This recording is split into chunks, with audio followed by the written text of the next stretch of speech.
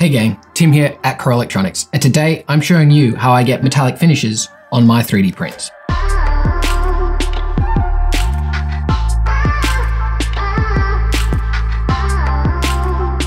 Three D printing has literally revolutionized the costume design, props, and movie industry. 3D printers like that Ultimaker 3 behind me enables creators and makers to quickly manifest their wildest imaginations into the physical world.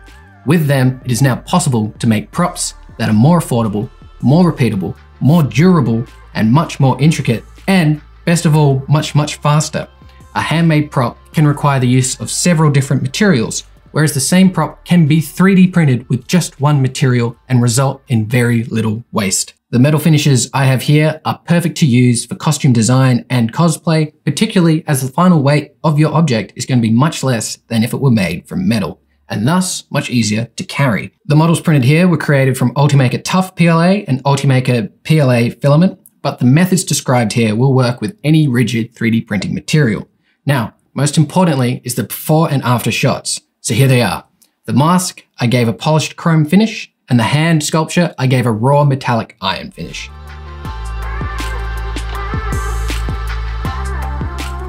For both of the finishes, you will require similar tools and supplies for the post-processing. Thus, for both finishes, you're going to need 280 and 400 grit sandpaper. Make sure to have heaps of this as there's nothing worse than running out. Super glue if you need to connect a part, prime and putty, all-in-one repair spray, and most importantly, mask and gloves for safety. Wood putty filler is also neat to have if you have large gaps that you need to fix. For both of these models, it was crucial to sand down and add layers of primer to the surfaces. This is to smooth out the layer lines so the model looks beautifully smooth when painted.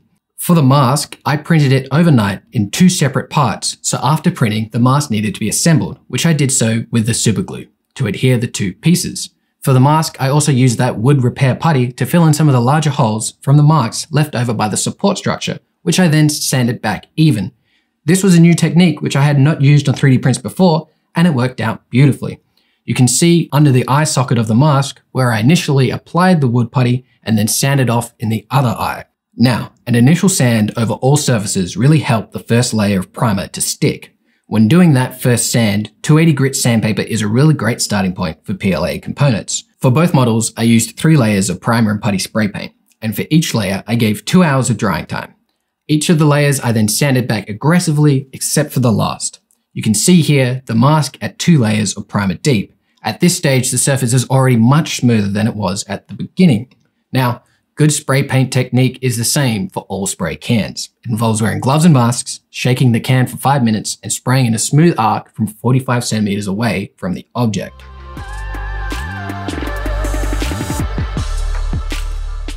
For the iron finish, I used the following tools and supplies.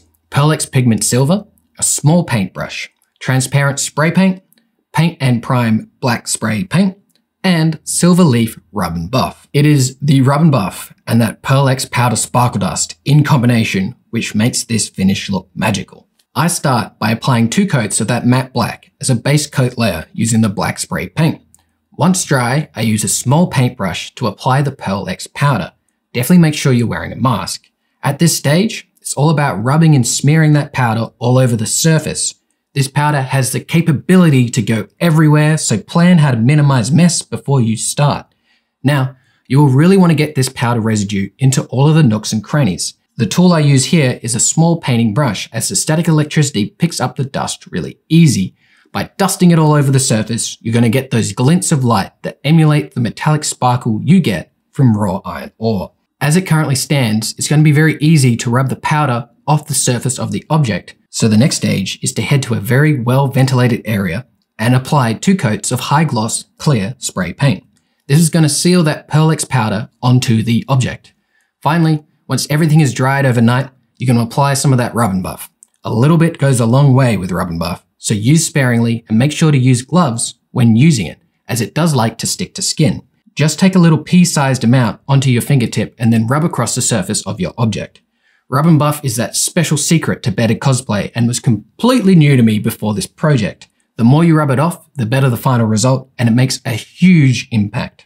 Acrylic paint can also be used instead, but for this stage, I find Rub and Buff much easier and much more fun to apply. If I was to do this again for the hand sculpture, I would use slightly less rub and buff and have taken more time in the post-processing to hide that point of connection near the wrist.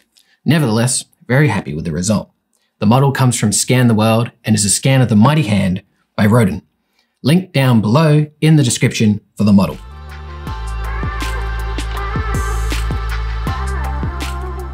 To achieve this finish, I tried two different spray paints one bought from the local hardware store and the other from my local spray paint and general graffiti culture store. The spray paint I bought from the hardware store ended up a much grayer and duller looking result as compared to the fancier spray paint. The result of the fancier one you can see on the mask and it just gave a much brighter mirror-like finish. This is one of those situations where better and more expensive paint just yields better results. In my experience, chrome spray paint is the toughest paint to get a good convincing finish on. This is particularly true for 3D printed objects, as the printed layers creates ripples on the perimeter of the object when you look up close. 3D printing smaller layers and printing slower minimizes this ripple problem, but if you're going to get anywhere with chrome finishes, you just have to do that post-processing to get the surfaces perfectly smooth. Other tips?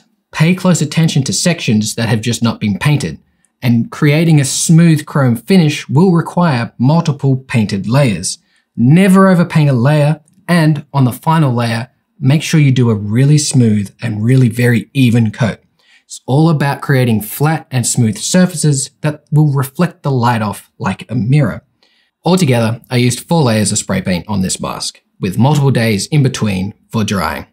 Once the final layer was painted, I left the mask to dry in a ventilated, dry, and dust-free area for three days before I even thought about touching the painted surface. This paint will stay tacky for a long time and it's very easy to mar during those couple of days and any fingerprints will completely ruin that chrome finish. If I was to do this process again, I would very much like to use an airbrush, as I've seen some excellent results with chrome paints when using an airbrush. Also, I've gone straight to using that better chrome spray paint. Hopefully you'll learn from me and save some time there. So, that is all for today. A guide worth checking out if you dig this kind of content is my other guide on creating fantastic finishes on 3D printed components. Check down below and remember, all caps when you spell his name. We're full-time makers and we're here to help.